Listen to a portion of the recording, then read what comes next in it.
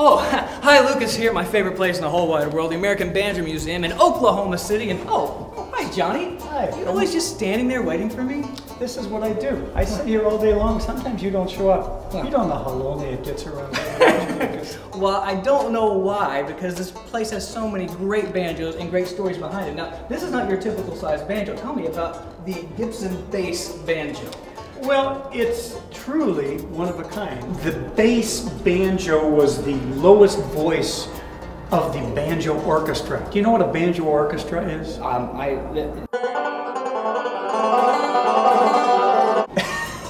A banjo orchestra back in the 1920s, banjos were so popular, they tried to create orchestras. They didn't try, they actually created orchestras. They made banjos that would play violin parts and viola parts, and then they made bigger banjos which, which played cello parts, and then all the way up to what was the lowest voice in any orchestra, the bass. Huh. So they wanted to recreate the visual dynamic of a banjo playing those uh, orchestral parts. The thing about this particular banjo bass it's made by the Gibson Company. Everyone knows Gibson guitars and such, and a lot of banjo players know that Gibson made banjos, but very few people know that Gibson made a one singular bass banjo.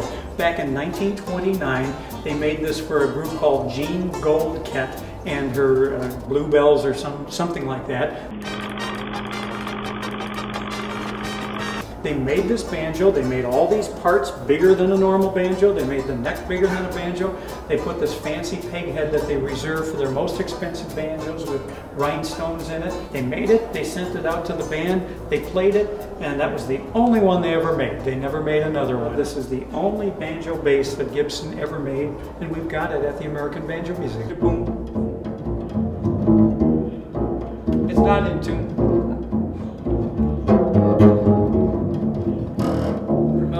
Thanks, so much. Another unique thing and a reason why you need to come to the American Banjo Museum in Oklahoma City. For more information, go to AmericanBanjoMuseum.com.